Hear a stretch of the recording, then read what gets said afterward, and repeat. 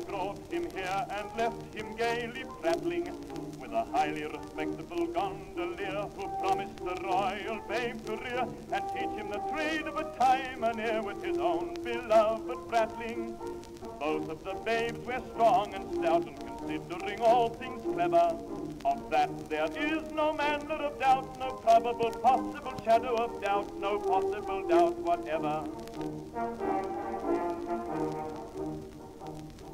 Time sped, and when at the end of the year I sought that infant cherished, that highly respectable gondolier was lying a corpse on his humble bier, I dropped a grand inquisitor's tear that gondolier had perished.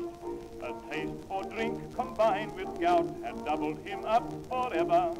Of that there is no manner of doubt, no probable possible shadow of doubt, no possible doubt whatever. But owing I'm much disposed to fear to his terrible taste for tippling, that highly respectable gondolier could never declare with a mind sincere which of the two was his offspring dear, and which the royal stripling, which was which he could never make out, despite his best endeavor.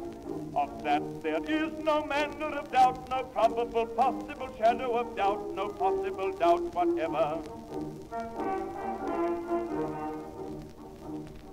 The children followed his old career. This statement can't be parried of a highly respectable gondolier. Well, one of the two who will soon be here, but which of the two is not quite clear is the royal prince you married.